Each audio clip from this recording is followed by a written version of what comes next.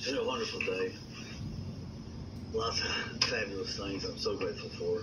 Thank you all for your love and support. And closing the night out with my boys. One of them's already crashed, the other one's thinking about it.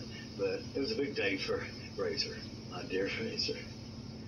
He already had this sock monkey we found somewhere along the gutter alive somewhere. And today, an anonymous donor donated Razor a new sock monkey. Yep, yep, yep, yep. anyway, they're just now getting acquainted, but it won't be long. He's gonna love every bite of this sock monkey. Make you go bed.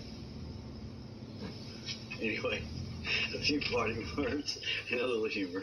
Uh, it's really late, and uh, I'm going to bed, and you guys might be getting up. I don't know. Understand that I operate under a different time system here in Rowdywood, and every night after 10 p.m., no matter what time it is until morning, it's always going to be 10 p.m. And I think that's a bad habit or a blessing I picked up from uh, paying the high cost of low living for a little bit too long.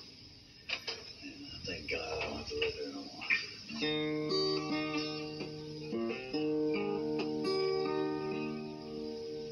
Give it a salute. Say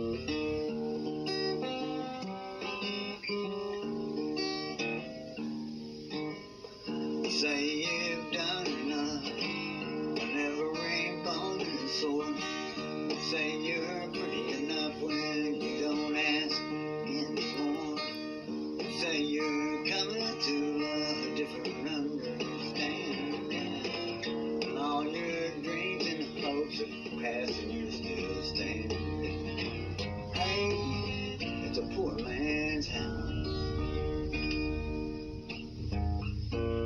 will live